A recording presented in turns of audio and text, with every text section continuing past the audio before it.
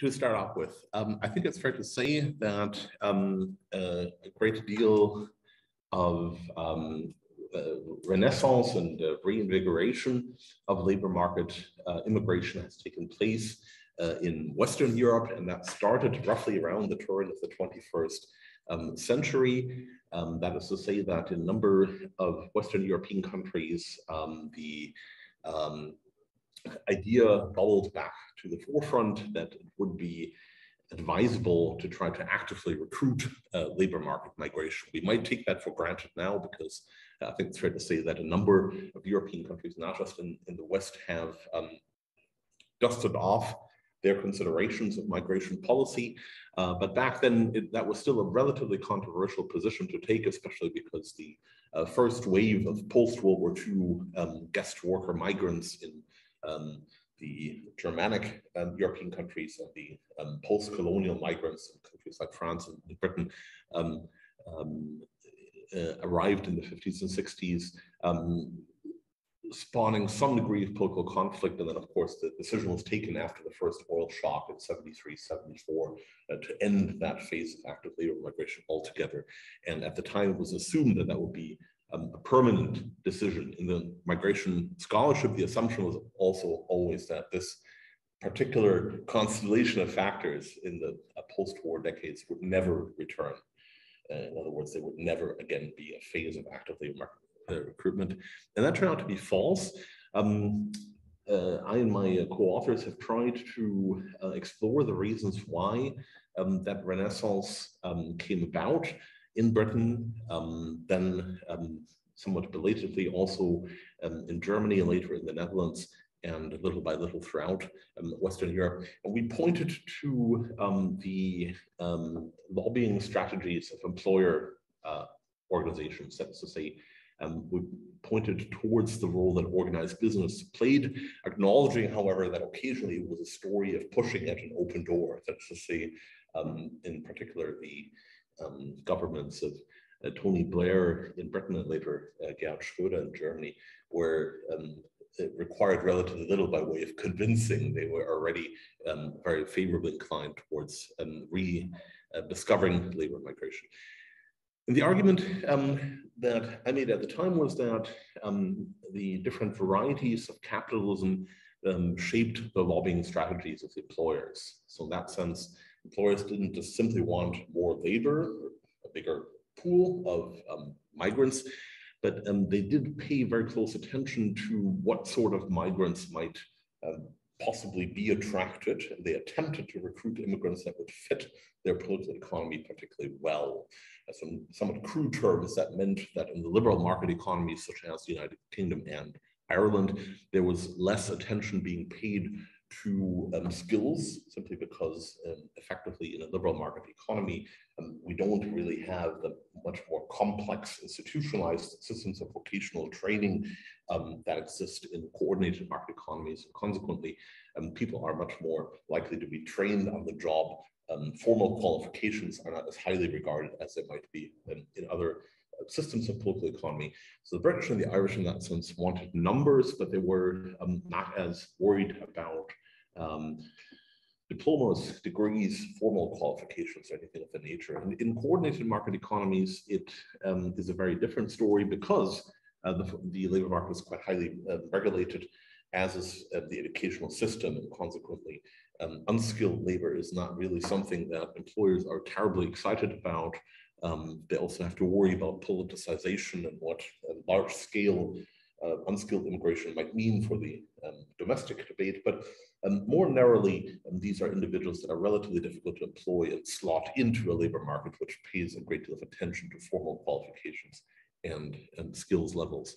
And in the mixed market economies, we have a, a, somewhat uneasy mixture of the two. That is to say, um, the countries such as uh, Italy and um, uh, France do, of course, have um, at least in some regions, a quasi-Germanic um, system of coordinated market economies style vocational system, but they also, of course, have large-scale undocumented elements of their labor market, and they also have um, um, a much more um, fluid, unskilled segment of the labor market. So it is a, somewhat uneasy mixture of the two, and consequently, the employers um, were not as outspoken because it was very hard to formulate co coherent and cogent um, strategy behind the backdrop of such a country. Um, what I and we wanted to do at the time was, was move away a little bit from the um, sort of literature um, which, um, for example, um, Stephen Castles and others um, spawned back in the 1970s, which was still somewhat um, shaped by neo-Marxist considerations. And the uh, claim back then was that essentially capital wants more labor, as a classic Marxist um, thinking. Essentially, um, there was a class effort here to weaken the role of labor and undermine um, the organized power of labor by using immigration essentially as a um, uh, strategic tool. If you read Marx or if you read Engels, conditions of the working class in England, that's exactly the argument he makes about um, the use of the Irish in 19th century England. Um, we said it's not quite as simple as that. It's not just uh, labor, but it's particular forms of labor that are being attracted um, to certain um, systems of political economy and employers don't just want more labor, they want particular uh, kinds of immigrants. Um, we, um, as we moved into um, the uh, 1990s and then the 2000s, um, witnessed um, in the wake of this renaissance of labor migration also um, a turn towards rediscovering internal EU migration. That was, of course, probably not a novelty, speaking in front of a Polish audience. That is to say, the idea was in um, liberal market economies such as the United Kingdom and Ireland uh, to open up the labor market immediately after EU eastward enlargement in 2004 um, and uh, very much uh, take in labor migrants from Central and Eastern Europe as part of the strategy um, towards uh, labor recruitment. Um, the um, response elsewhere in Europe was a bit uh, more uh, circumspect, and this, of course, is part and parcel of the considerations regarding um, skill levels and regarding employability that I um, alluded to earlier. The um, employers um, are interested uh, in labor immigration in part because of um, an argument around skill shortages. And I hasten to add that it is an argument, it's not necessarily a scientific fact, it is a claim. Um, flexibility, which is a, a, somewhat loaded term, that's to say, we know that that is often a, somewhat coded way of describing um, the um, perhaps greater willingness of labor migrants to accept working conditions against which uh, native workers might push back. So flexibility is, is a somewhat, somewhat loaded term that uh, entails a number of assumptions. Um, and um, employers, especially in the labor market economies, also use labor migration as an alternative to um, automation and rolling out um, greater automation um, instead.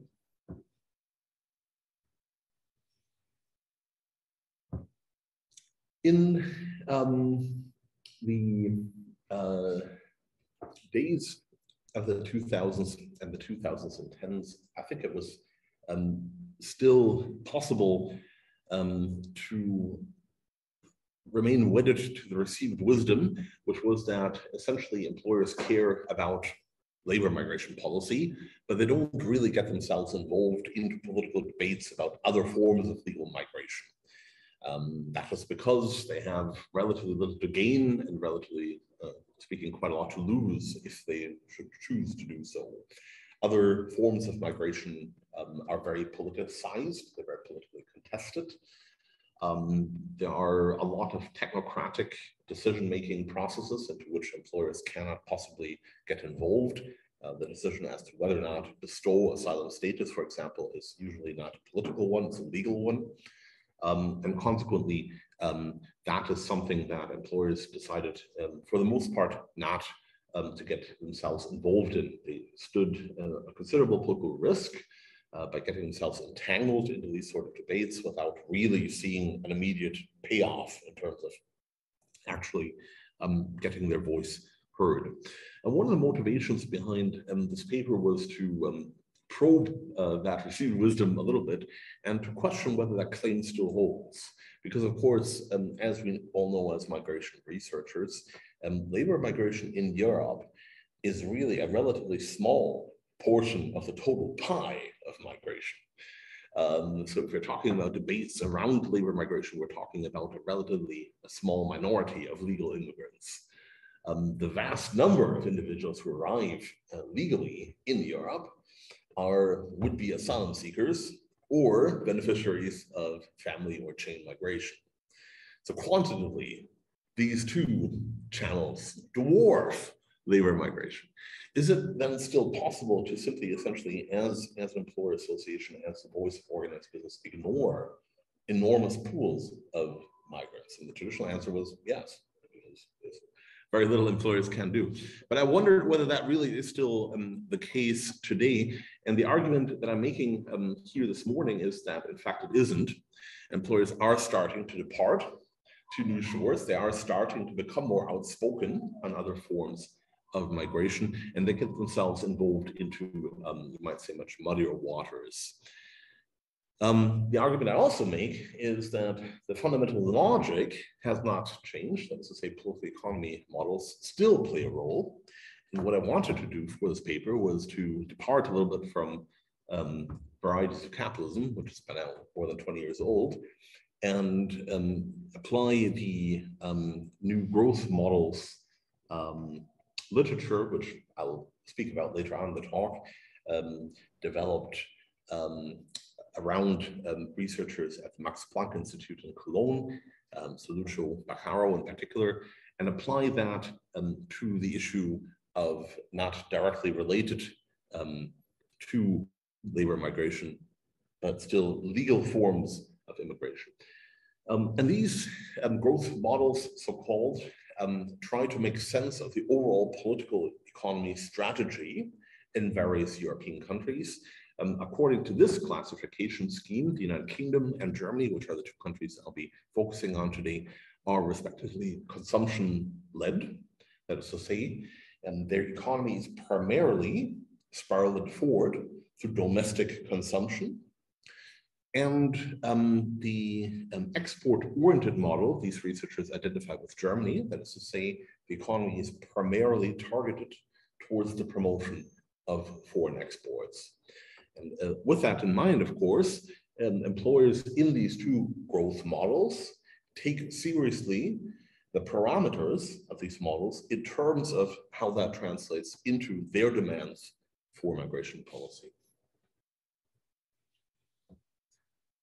Um, the um, trouble with um, getting out of your lane a little bit, if you will, that is to say, the trouble with um, uh, moving out of labor migration primarily and um, moving into um, other issues and lobbying for policy around uh, politics other than labor migration is that if you do that, um, you are um, entering territory which is more legalistic. As I said earlier, asylum policy tends to be, yes, politically regulated, but individual asylum decisions, of course, are, are not taken by politicians. Um, uh, there is also um, the trouble that is um, extremely political and difficult to shape uh, political debates around family reunion rights, right? So, um, children, um, parents, other relatives of legal migrants and their migration rights are um, usually legally codified. Um, these legal regulations, of course, follow policy, so they can be politically altered, but it is a very, very um, difficult form of um, politics, and thus it's, it's not very, uh, in some sense, not very easy terrain to enter into. But even so, employers are starting to do that.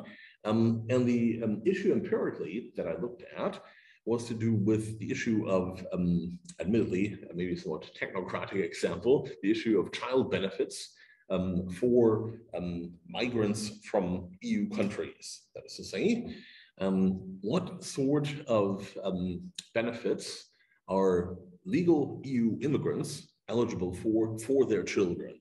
Right? Can they take up the child benefit when they come to Britain or Germany?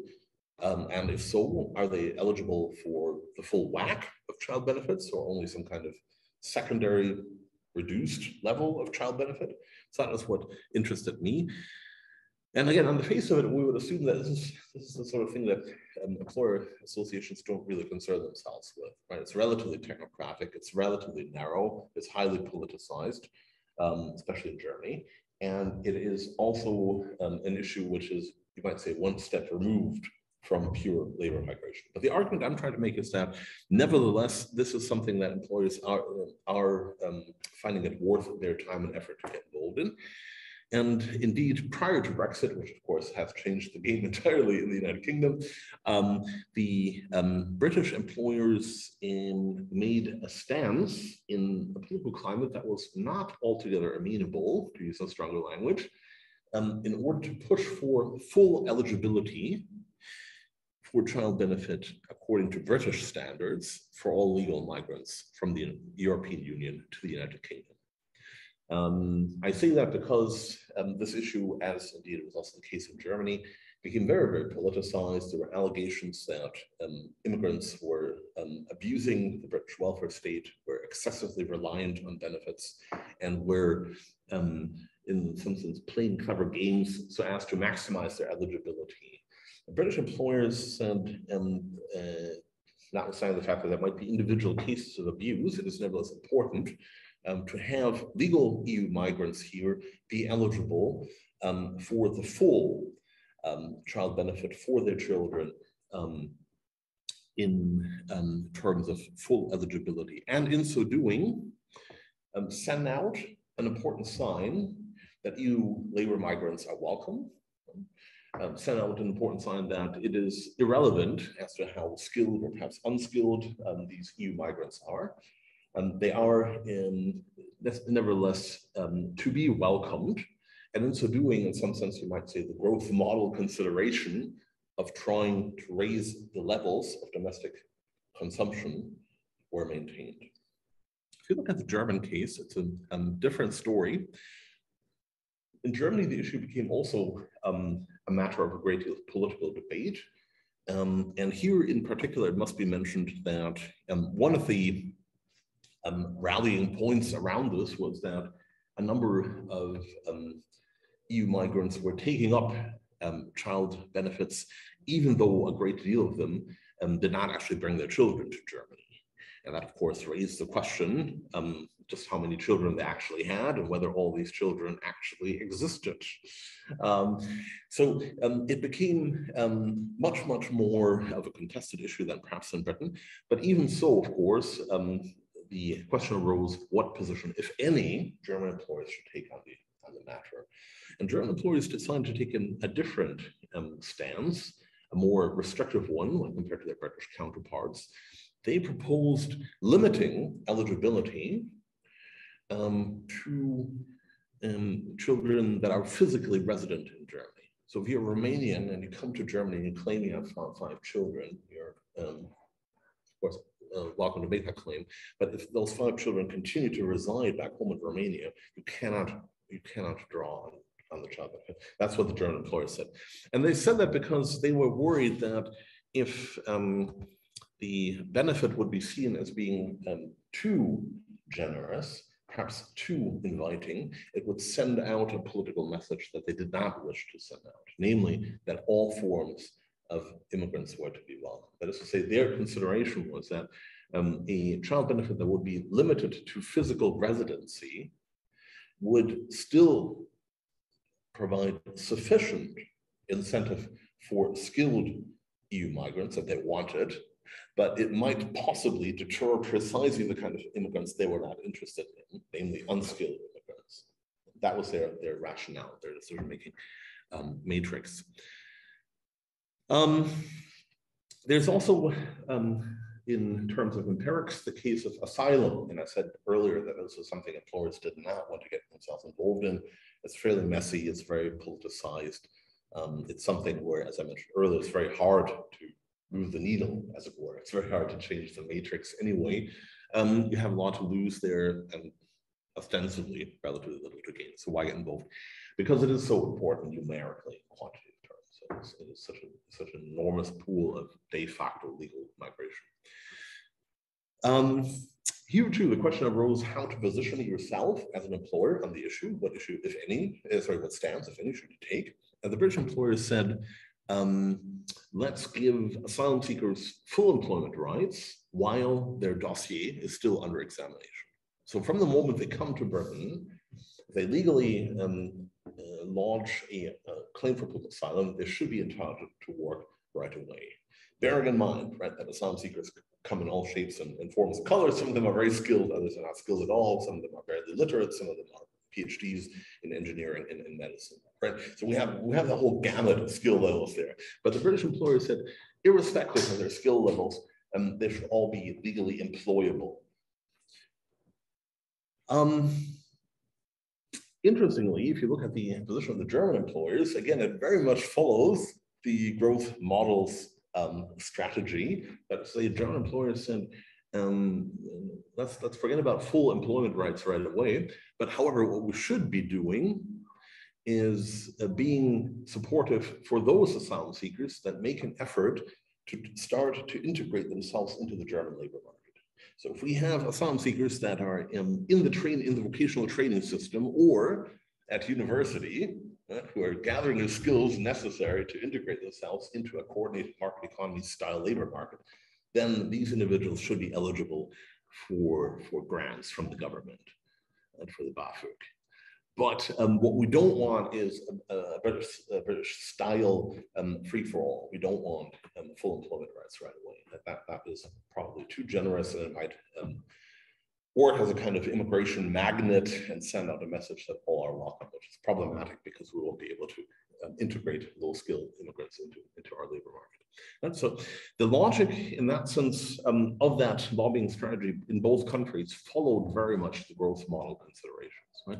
In the British system, in a way, it doesn't really matter whether asylum seekers are skilled or not, because you will still be able to slot them into the labor market um, in some capacity or other. In the German style system, it is very important that um, individuals, asylum seekers or otherwise, are trained and skilled because otherwise they will most likely become a liability and they become very, very hard to integrate.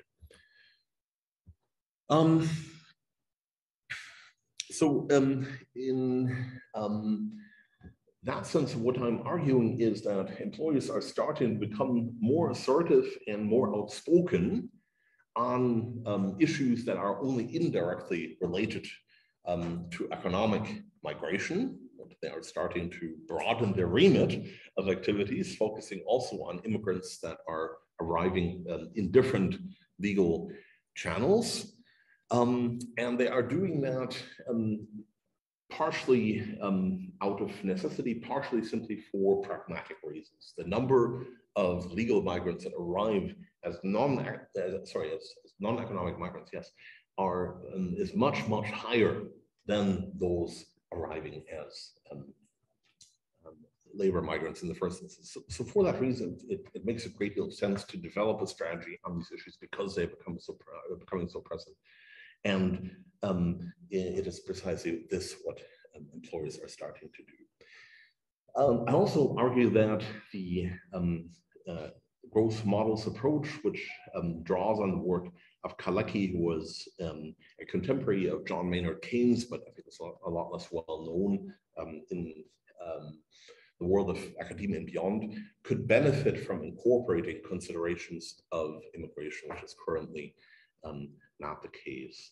When Jonas Pontusson and Lucio Baccaro uh, developed the growth models uh, strategy approach a few um, years ago, um, they were interested in looking at the role of trade unions, interested in the role of employer associations, interested in product markets, product market regulations, and the overall strategy countries in Europe used to develop economic growth. But they didn't really um, spend a great deal of time focusing on immigration considerations. And um, in my considered view, that is somewhat of a lacuna, and that is something that could be added to um, the growth models um, approach to make it um, more compelling and to add that element um, to labor market considerations.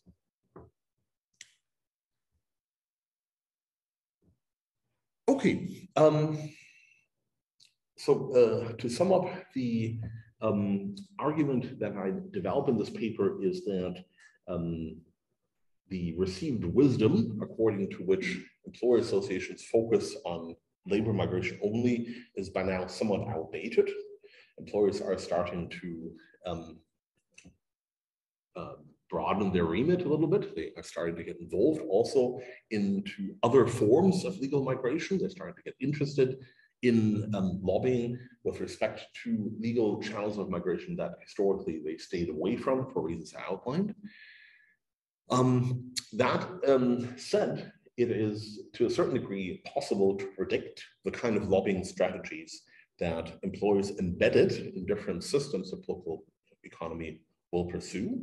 And it's not just a matter of willy-nilly, essentially just waving in immigrants, or uh, from, you might say, more neo-Marxist perspectives of saying all uh, labor is good because you have a much broader labor pool, and a much broader labor pool means weaker labor, it means weaker unions, it means labor acquiescence um, towards working conditions, to um, wage moderation, etc. All that essentially was already described by, by uh, Engels in um, the context of 19th century England and the use of uh, Irish um, migrant labor in those days. No, it's, it's a matter of um, these different growth models and their strategy conditioning the demands that employers make. And the demands that employers make um, have to do with considerations of employability and skills. They want um, migrants, but they want migrants that um, are complementary um, to their respective model of the economy, that are employable, that can be easily um, uh, integrated into the labor market, that don't become a liability, that are not difficult to integrate. And for that reason, um, British employers are still much more liberal in the traditional sense of the term. Um, they are more interested in all um, skill levels of immigrants. Um, that is reflected in their strategy vis-a-vis -vis the first empirical case that I uh, introduced you to, that is to say the issue of child benefits for EU migrants. By now, of course, unfortunately, that is somewhat of historical value only in the British context for obvious reasons um, and the issue of asylum seekers, which is very much still um, a pressing issue. And in the German case, it's, it's a slightly different story. Um, the German employers were much more um, conservative and you might say somewhat more restrictive with regards to the issue of child benefits because they saw a potential problem there of abuse, but they also saw a potential problem there of essentially sending a wrong message, sending a message that might be misinterpreted and might be um, interpreted as an invitation for immigrants from EU countries that would be difficult to um, employ in the labor market. Um, and similarly, with regards to asylum, um, if you think back to that second empirical case study that I um, briefly sketched, um, here too, um, German employers don't uh, want immediate employment rights. That would be too, too liberal for their flavor. what they do, however, are favorably, uh, what they are favorably inclined towards is supporting those asylum seekers that make an effort towards making themselves employable by um, undergoing vocational training or by uh, pursuing a university degree. That means that they will be, assuming they receive the asylum status, they will be much easier to employ once they're done with their studies. So that is um, the um, case I wanted to make here in front of you this morning. And uh, we do have oodles of time, so I'm opening the floor and I'm happy to take uh, questions from the audience, either the physical audience or the virtual audience via Zoom. Thank you.